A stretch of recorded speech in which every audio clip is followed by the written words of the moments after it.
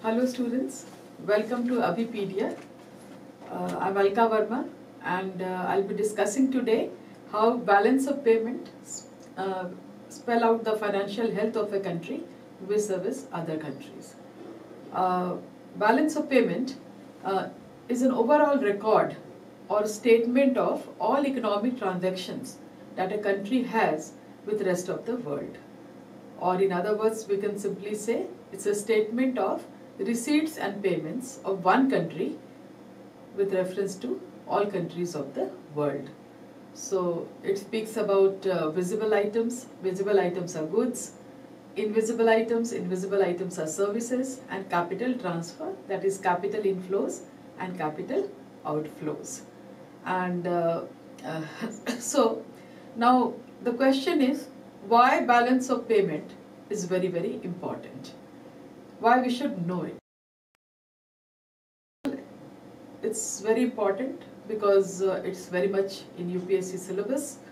Your concepts have to be clear and you can know whether we are dependent on other countries or not. Alright, that's why uh, balance of payment becomes very very important. It uh, serves as a guide to economic conditions and directions. It indicates the economic uh, uh, situation of a country. If we have favorable balance of payment, that is considered to be economically sound economy.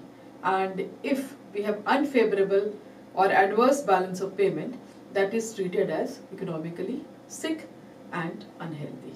And that is the reason we are supposed to know what is balance of payment. Secondly, it gives a pictogram of the economic changes that a country is having over many years. Thirdly, it is also an indicator of foreign dependency. Then it provides knowledge of foreign receipts and foreign payments. Uh, also, we get the knowledge of uh, in foreign investment. It is also indicator of foreign trade. So, a country can formulate foreign trade policy accordingly. It also helps in national planning and also in the formulation of national policy and uh, uh, it is also helpful in fundamental and structural changes that is introduced in the economic policies by the government and this is also helpful uh, for the international organizations such as International Monetary Fund, uh, World Bank, uh, etc.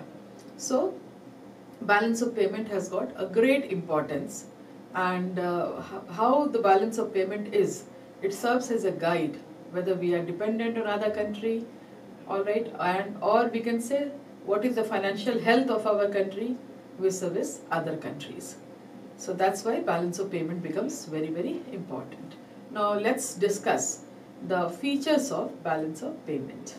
Now uh, number one it's a systematic record of all the receipts and all the payments that a country has with the rest of the world.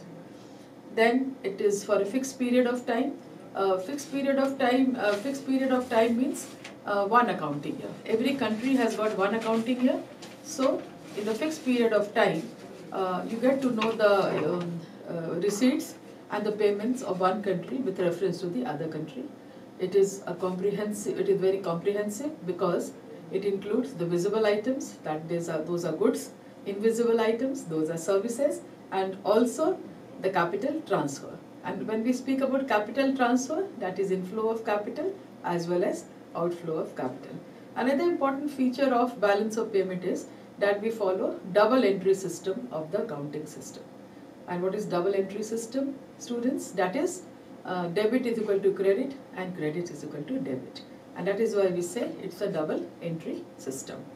And uh, it is self-balanced because if there is any discrepancy in any of the account, then uh, we transfer it to the other account and this way it is self-balanced.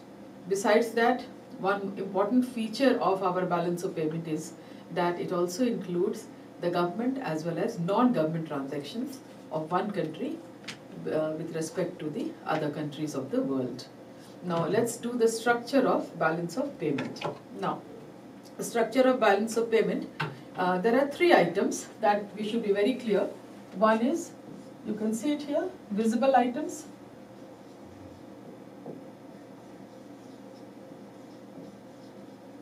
Visible items means goods, alright, and uh, material goods. That is what comes under visible items. Then secondly, we have invisible items.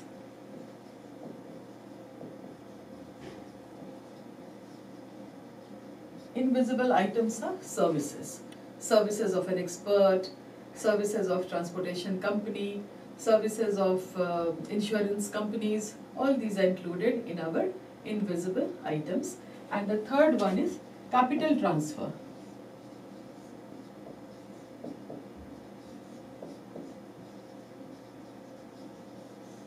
Capital, capital transfer, uh, it is about inflows of capital and outflows of capital. Now, after this, let me tell you, uh, uh, balance of payment can be number one, balanced. When balance of payment is balanced, when our receipts are equal to payments, then we say that balance of payment is balanced. Then, secondly, we have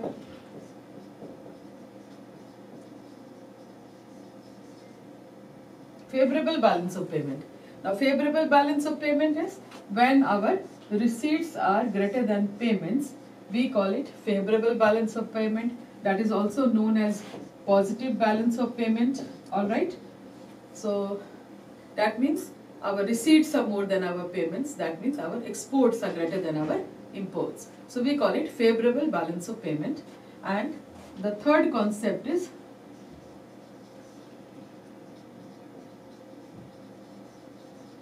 unfavorable balance of payment when our payments are more than receipts or we can say that receipts are less than our payments. So we call it unfavorable balance of payment. This is also known as negative BOP or we can also call it deficit balance of payment. So this way these are the basic concepts that you are supposed to know and uh, uh, then you can understand in a better way. Now we have another concept that is called balance of trade. Now what is balance of trade? Balance of trade means we only speak about export and import of visible items. That is what is known as balance of trade. Export and import of visible items, they are balance of trade and balance of payments includes the visible items, the invisible items and also the capital transfer. That is capital inflows and capital outflows. So basically these concepts are very important to understand the structure of balance of payment. Now we move on to different parts of balance of payment. We have uh, current account as well as we have capital account. Alright. So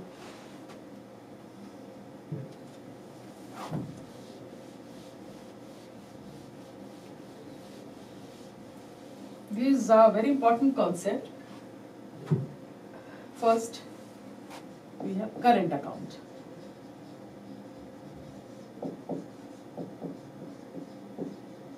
Now under current account we include uh, export and import of uh, visible items plus export and import of invisible items. This is what is known as current account and third uh, part of this is in uh, unilateral transfer. Unilateral transfer is one way transfer. That means uh, when you are uh, giving a donation you should not expect anything in return. So that is what is known as unilateral transfer. So current account, I hope it's clear to you. It's uh, visible items and invisible items. So it is export and import of visible plus invisible items. That is what is known as our current account. Then we have capital account.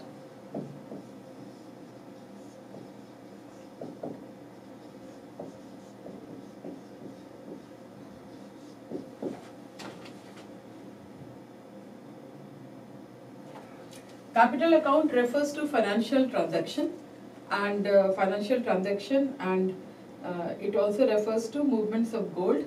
It uh, refers to inflows of capital as well as outflows of capital. I hope it's clear to you. This, these are very important concept. Now uh, we'll be discussing uh, this uh, current account and capital account in detail so that you have a better understanding, you have a better understanding of current account and capital account. So I begin with current account, what I included. So number one is export and import of visible material goods. It can be tea, it can be coffee, it can be rubber, it can be jewelry, it can be uh, machines, equipments. So that is the first item of our current account. Then invisible items, these are services which you cannot see but they are very important. So under invisible items we have services rendered by commercial undertakings like shipping companies, insurance companies, banks. So these all come under uh, capital uh, current account. Then we have got uh, services by the experts because experts from other countries they come to our uh, country and experts from our country they go to other countries. Uh, they can be engineers, they can be doctors, they can be specialists, they can be scientists. So that is included in our current account. Then we have travelings. This is one of the major item of balance of payment. That is what is known as travelling because uh, and travelling could be travelling could relate to business, travelling could relate to education, health, pleasure trips, or there may be conventions, seminar, uh, uh conferences, etc. That is also part of the current account and that comes under invisible item. Then we have transportation charges because goods are transported from one country to the other country. So transported, transportation charges, they are also included in our current account under invisible items. Then we have investment income, investment of one country vis-a-vis other countries.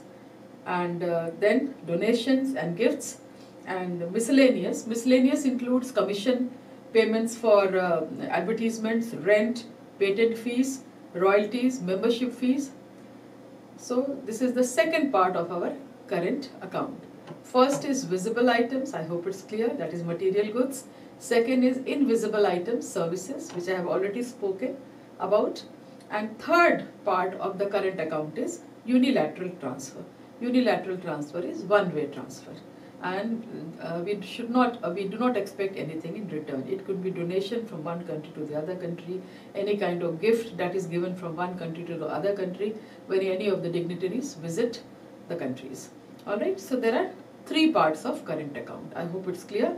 Visible invisible and unilateral transfer. Now we have got capital account. Capital account brings change in the assets and liabilities uh, status of the resident of a country or its government. That is what is known as capital account. And capital account includes private foreign loan flow.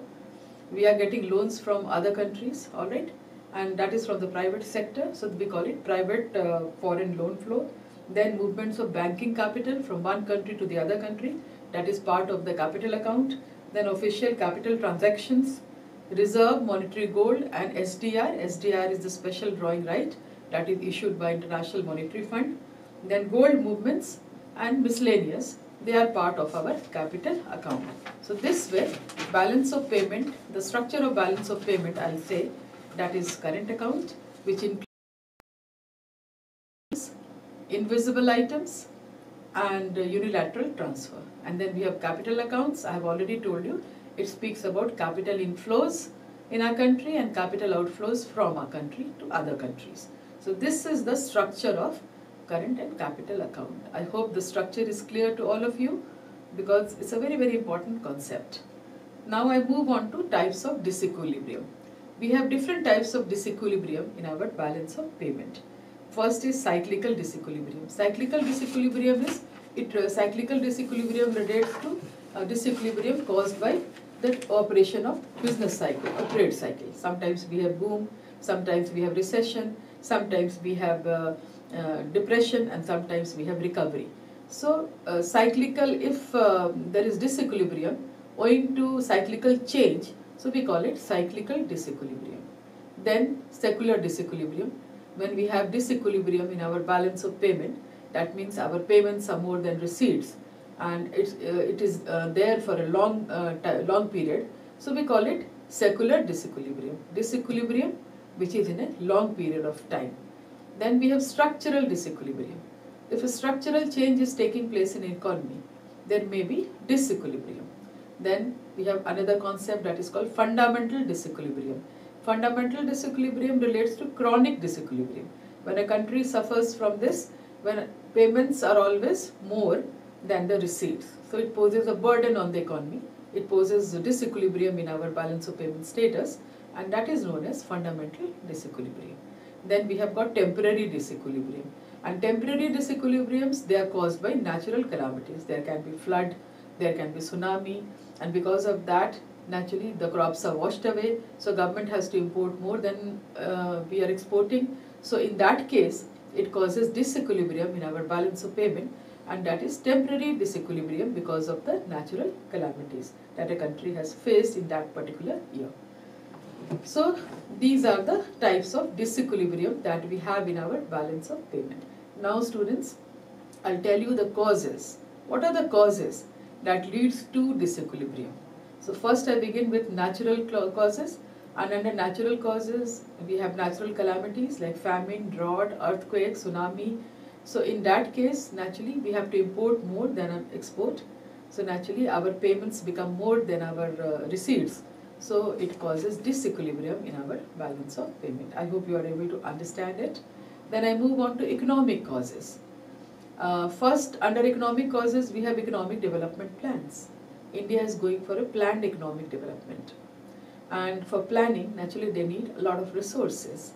And we don't have so much of resources. So naturally, we have to import resources from other countries. So that also causes disequilibrium in our balance of payment. Then price cost effect, costs and prices of uh, export industries go up and that causes disequilibrium in our balance of payment. Then cyclical fluctuations, I have already told you that when there is operation of business cycle, we have boom, we have recession, we have depression and we have recovery in the economy. So when we have cyclical fluctuations, that also causes disequilibrium in our balance of payment. Then uh, change in the foreign exchange rate, Uh, sometimes we have appreciation of our currency, sometimes we have depreciation of our currency, appreciation and depreciation in rate of exchange that is caused by flexible rate of exchange on the basis of demand for foreign currency and supply of foreign currency. So they also affect the balance of payment status of a country. Then there may be decline in the foreign demand. There was a lot of demand for Indian tea all over the world. So we were exporting tea. Now Sri Lanka has taken over because they are exporting varieties of tea, masala tea, saffron tea. So what I'm trying to say that now demand for Indian tea has shifted in favor of Sri Lanka and it has become unfavorable for us. So because of that also we have disequilibrium in our balance of payment. This is one example I try to give you so that you are able to understand that why there is a decline in foreign demand. Then there can be change in the terms of trade and uh, if uh, terms of trade have become unfavorable that also affects our balance of payment equilibrium. Then there can be demonstration effect also. Now people in underdeveloped countries, they try to copy the lifestyle of the developed countries and there can be huge demand for imported goods.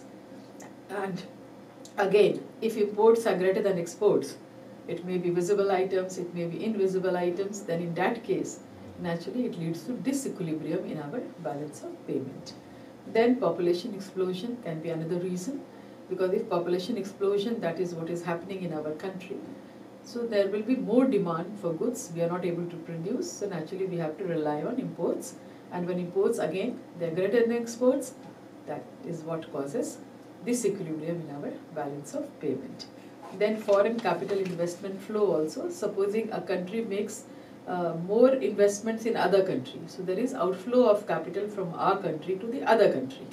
So that also affects uh, our balance of payment status and causes disequilibrium in our balance of payment. There could be international economic policies also, practices also, and uh, they also cause uh, disequilibrium. For example, economic sanctions by UNO against Libya and Iraq so that also uh, caused uh, disequilibrium in balance of payment. Then high import duties which was imposed by European uh, Economic Community on Indian ready-made garments. So we were exporting them. Now when high uh, import duty was imposed by these countries, naturally our exports became less. Exports are less and imports are more, so automatically that causes disequilibrium in our balance of payment. So these are the economic causes which, which uh, leads to disequilibrium in our balance of payment. Now I move on to political causes. Political causes uh, can be uh, expansion of embassies and maintenance. When we are expanding or setting up in uh, our embassies in other countries, naturally we have to pay in foreign currency. That also causes disequilibrium in our balance of payment. There can be political instability, and if there is political instability, again it leads to disequilibrium in balance of payment. Then it also depends upon international relations that a country has with other countries. And then partition or unification, that is also another reason, another political reason for causing disequilibrium in our balance of payment. For example, when partition of India took place, India and Pakistan, naturally it caused uh, uh, disequilibrium in our balance of payment. And when there's unification, like East Germany and West Germany, there was unification of East Germany and West Germany, so naturally that led to uh, uh, positive, favorable balance of payment. So this also causes disequilibrium in our balance of payment. Now, now I want to tell you, uh, like our topic is that how it affects the financial health of a country with service other countries. Now, uh, adverse balance of payment that uh, lowers the international economic credibility of a country. And this is how we are affected adversely. Then secondly, economic dependence of a country on other countries, foreign countries becomes more. It increases and uh, then if it increases, then country's economy is subject to exploitation. Forex reserves are depleted when we have adverse balance of payment or disequilibrium in our balance of payment. Then uh, reserve of gold and other precious metals, they also go down. They start flowing out from our country to other countries. And foreign dependence sometimes assumes the form of political dependence and uh, we are politically dependent on other countries. We are not able to formulate our own independent economic policy. Then pace of economic growth slows down and uh, foreign interference in a country's economic, political and social spheres, they tend to increase. And that is the reason we, uh, we need to have uh, equilibrium in our balance of payment.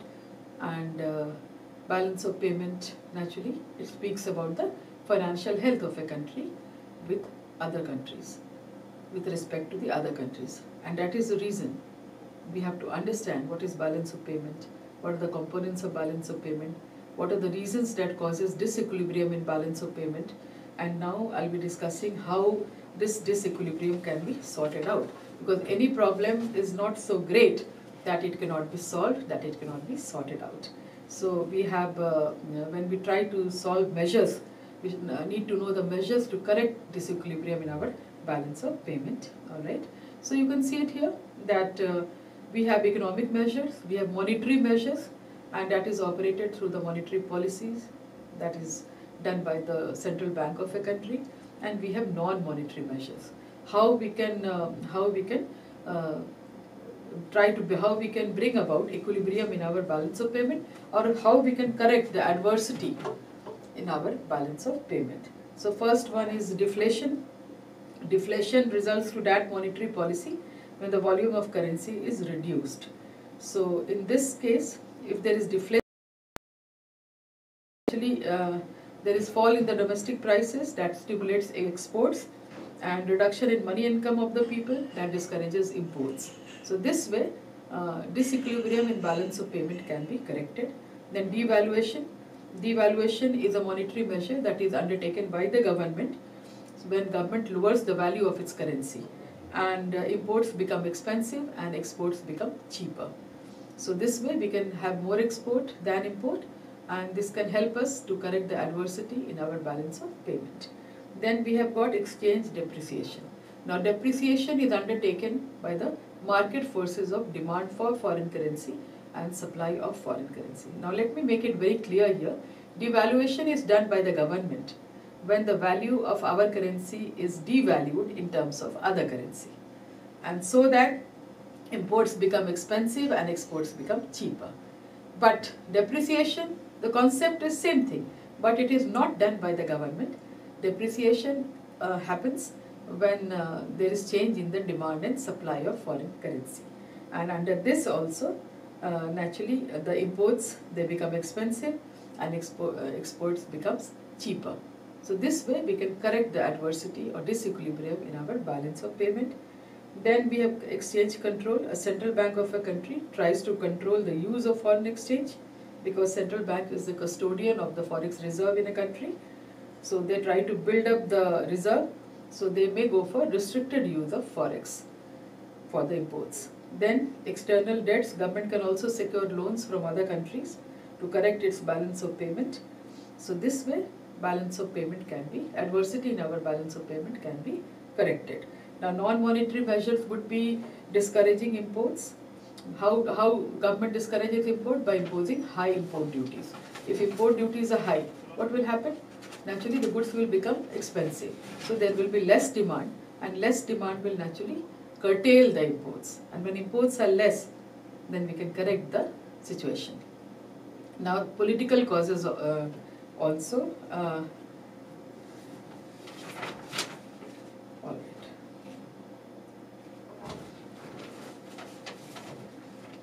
Achha, then besides that, uh, uh, import quotas can be fixed.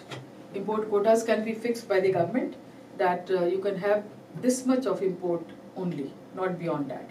So this can also help us to correct uh, disequilibrium in our balance of payment. Then import substitution. And what is import substitution? That is uh, when imported goods are substituted and produced in the domestic economy. That is what is known as import substitution. So this way we can curtail, curtail the imports of foreign goods because we have started producing in our own country. So import substitution can also help in the correction of uh, balance adversity in our balance of payment. Then export promotion also. This is one of the best method to correct uh, disequilibrium in balance of payment to um, uh, increase the exports. Government goes for, uh, government gives tax concession, tax holiday to the export industries and this way export is promoted so that, our, so that our exports increase and they correct disequilibrium in our balance of payment. Then encouragement to foreign investment also by making the climate suitable for foreign investment. Naturally, uh, capital inflows can be attracted in our country and foreign investment, uh, if they are attracted here with uh, some concessions, some tax holidays, some incentives, then naturally there will be inflow of capital and it will help us to correct the adversity in our balance of payment or disequilibrium in our balance of payment. Then attraction to foreign tourists also by we can develop recreation park, tourist sites or casino for example so that we can attract more and more tourists here and uh, when the tourists will come naturally the foreign uh, currency will also come to our country and this can also help to ease out disequilibrium in our balance of payment. Then state trading also, the state can play a role uh, of flagship in promoting export. It, it, can explore new markets by having more uh, exhibitions, etc. So these are the non-monetary measures that can be undertaken to correct disequilibrium in our balance of payment. I hope you are understanding. Now we move on to political measures. Some of the political measures can also be taken to correct the disequilibrium in our balance of payment. Uh, there should be a check on political alliance. Now disintegration of USSR should serve as a lesson to those countries which are still victim of political alliance. Then political and administrative thriftiness, unnecessary non-essential foreign trips should be avoided as far as possible and uh, expenses and expansion and embassies and missions abroad they should be curtailed so that political and administrative thriftiness can also reduce our uh, payments and uh, we can correct disequilibrium in our balance of payment. Then changes in the basic political ideology also. Change over from socialist economy to free economy by USSR and other socialist countries liberal uh, industrial policy of India that was spelled out in 1991. So these are the instances of best political ideologies, basic that change in the basic political ideologies, and they can also help in moderating the difficulties that we have with reference to balance of payment. And uh, some social measures can also be undertaken, like uh, import of petrol and petroleum products. That is one of the major causes for uh, adverse balance of payment in India if social awareness is made among the people to make economical use of petrol, then it may have a good effect on balance of payment and then we can correct disequilibrium in our balance of payment. Now international measures, formation of new regional international alliances or market organizations and active participation in these can also help to solve the crisis. For example, SAARC, NAM, EEC, WTO, they can play, their examples of these alliances and uh, they are showing encouraging results. So, uh, these are the measures which can be undertaken to solve the disequilibrium in the balance of payment. So this way, now let me conclude here students that balance of payment, uh, we need to uh, know the financial health of the country vis-a-vis other countries. So we have to understand balance of payments, its components, then uh, st uh, structure, then uh, uh, both accounts, current account and capital accounts, then what are the reasons for disequilibrium and how these, these disequilibriums can be sorted out and I hope it will help you in your preparation for UPSC and also it has cleared your concept. Now students, if you have understood, if you have liked the video, please, please share it and uh, uh, watch Abhipedia and every time we are going to come with a new concept, a new topic so that there is base formation for you and it helps you in the preparation of UPSC. Thank you very much. See you again.